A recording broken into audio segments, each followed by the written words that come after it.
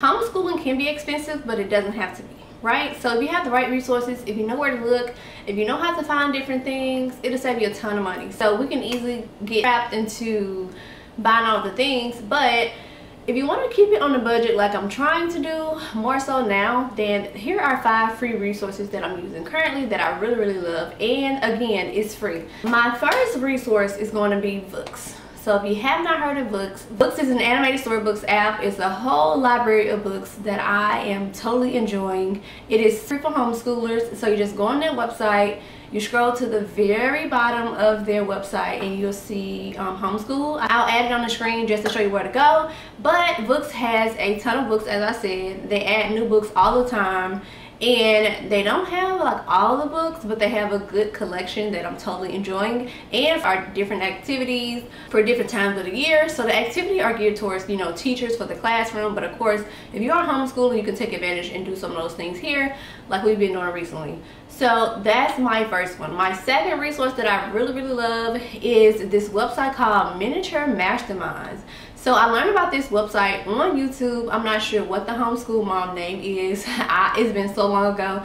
But Miniature Masterminds is a free website with a ton of printables from curriculum to, I don't know, busy binders type things, um, tracing, every subject that you can think of is on there so i want to say go up to second grade i'm not sure but as i said all of the printables are free.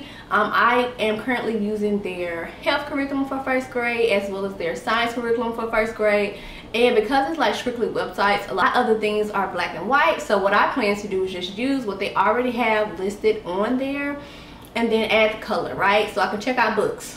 I can add documentaries I can add TV shows, whatever we need, but I wanted to save some money. And I'm like, okay, I flipped through the curriculum, I looked through all of the pages. I'm like, I can definitely use this and tweak it to my liking instead of starting from scratch. So if you are looking for just seasonal things for your child, um, things to just get them started, this is a great place to start. You don't have to enter your email. All you have to do is really is go on the page and click download. So I definitely suggest checking that out even if you don't want to use a full curriculum there are different worksheets and pages that you can definitely benefit from. So yeah miniature masterminds. My third resource is my new favorite.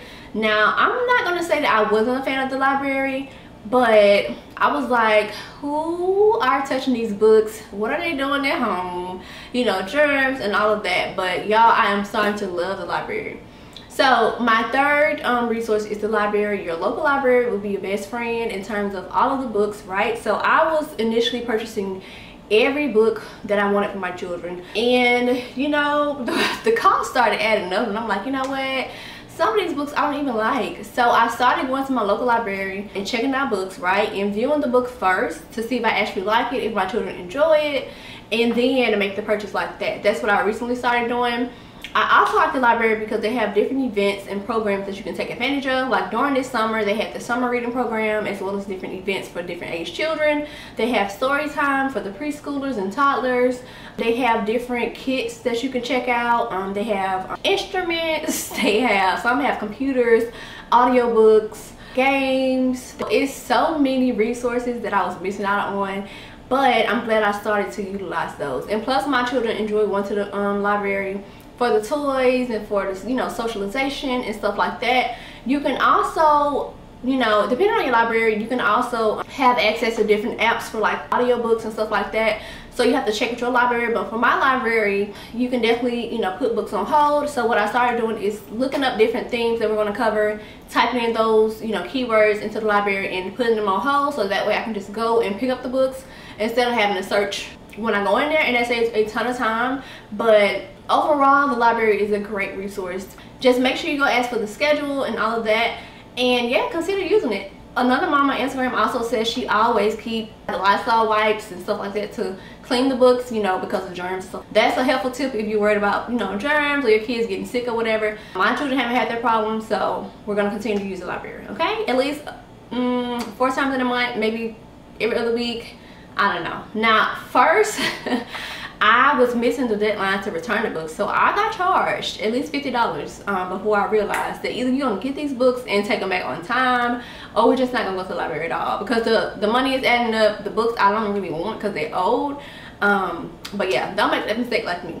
my fourth resource is going to be art hub for kids it's a family youtube channel where usually it's a father and one of his children they are drawing something and they are showing you how to draw.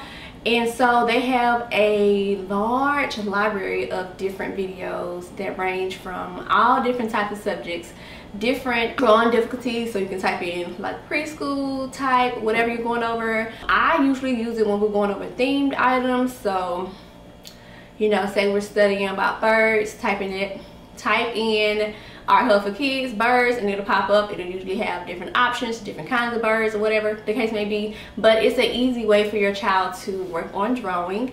And i recently started doing it with my kids so it's like a family type thing and they really really enjoy it. So if you're looking to add drawing to your homeschool or just drawing in general to you know your home during your downtime during your family time definitely check out art hub for kids. They have so many videos and the drawings are super super easy for me as an adult so i know it won't be like too overwhelming for your child. But yeah that was my fourth resource. And my fifth and last resource for homeschoolers is hand2mind.com if you're not familiar with Hand2Mind, it is the sister company of Learning Resources and Educational Insights.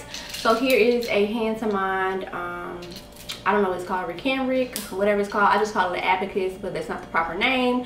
But basically they have free curriculum on their website. It's geared towards teachers again. So you just go on there, look at the different topics. I think it's from like pre-K to, let me double check it's from pre-K to fifth grade. So on their website, you just go to free lessons and you can go to the lessons by subject or by grade.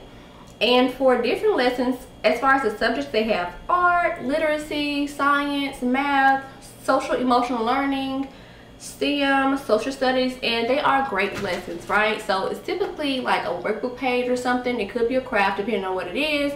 But what I really, really love about this is if you are not really skilled in that area, they do have videos that you can watch, that your child can watch. They're short and to the point, which covers that topic so that they can get like background knowledge to what they're doing or whatever. So that will be free. You just scan the qr code and it'll take you directly to a video. I think it's on youtube. Um, this is something new that i've been doing but i'm like i have a lot of their resources and sometimes i don't want to create my own resources. And it's good to know that a brand that i really trust and you know love their products i can go on their site and get things that's very useful in our homeschool. We definitely don't have to um, come up with things on our own and i guess there'll be some additional like resources that you can use. Um, teachers pay teachers is a good resource to use. You just make sure you scroll or um, sort the filters to do like free resources or whatnot. It's a ton of free resources. I don't really use teacher pay teachers anymore like that. Like i was in the beginning because i found other things that i like to use. But i do use teacher teachers pay teachers sometimes um, and then another resource would be, depending on what type of curriculum you're looking for, um, the Good and the Beautiful do have their homeschool curriculum free online. I don't use their math anymore, so you know, if you're looking for something to get started, it's an open and go curriculum. I'm not promoting it anyway, but it's, it's free. If you just want to see like what to expect, what you can use, whatever the case may be, um, so yeah those are a few of my favorite free resources. If you have any other free resources that you're enjoying right now definitely drop them in the comment section below. Um, i'm trying to create like an information hub for moms who are interested in homeschooling who are just getting started um, who have tried out some things that's not a good fit for their homeschool but maybe beneficial to other moms so yeah um, if you're new here i'm shadiamond homeschool mom to a five and four year old. Um, yeah so stick around if you like homeschool videos make sure you subscribe. So yeah that's all of the free resources i have for this video. I'll probably do a part two when i you know discover some new ones or add some new things to our homeschool. But i wanted to just share things that we're actually using now currently. Um, there are some things that we have used that wasn't a good fit. So i'm like okay that's not something i can vouch for because i didn't really enjoy it. But these things that i shared i definitely enjoy um, so far. So yeah. See you guys in the next video